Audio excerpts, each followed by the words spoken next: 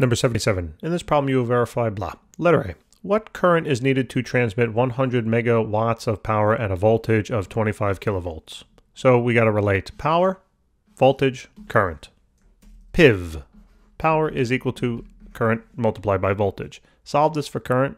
So simply divide out the voltage from both sides. And all I'm going to do is literally plug it in. So the power, but you got to have the right units. Remember, this is megawatts. We need that in watts. So simply take the 100, multiply it by 10 to the 6. Then the voltage here, they gave it in kilovolts, but we need that in volts. So simply take the 25 and multiply it by 10 to the third. And simply now plug it on in. So essentially this will be 100 times 10 to the 6 divided then by 25 times 10 to the third. And we get a value of about 4,000 or aka 4.0 times 10 to the third uh, amps. All right. However many sig figs you need, I guess I should have added a zero there, but um, yeah. Everyone cares about it in the beginning, but then at the end, nobody cares. So letter B. So find the power loss in a uh, 1 ohm transmission line. So now basically what we have to do is we're going to have to use the formula power is equal to I squared times R. Because whatever the current, whatever current is flowing through that wire, whatever resistance that is uh, uh, experiencing will then equal the power that is being lost to that resistance. So all we now have to simply do is plug it on in. So this is going to be 4 times 10 to the 3 times in the resistance of, and don't forget to square that, please. And then that's just times the resistance of 1. Not really sure what that hyphen's doing over there, but anyway. So this is going to be 4 times 10 to the 3 squared.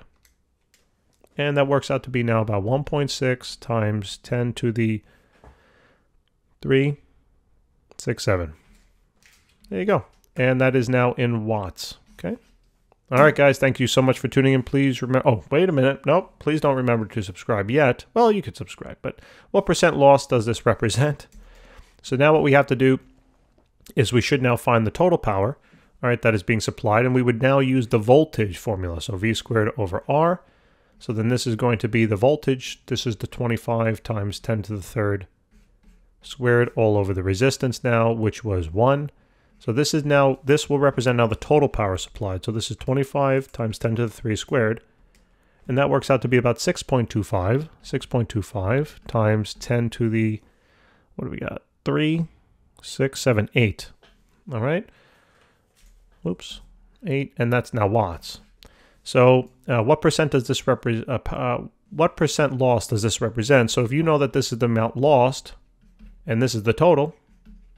Simply take the loss and divide it by the total. 1.6 times 10 to the 7th, all divided by 6.25 times 10 to the 8. Bada bing, bada boom. Let's plug that on in. Then divided by that. 0.0256, or and then, well, it said percent, right? So why don't we then multiply that by 100?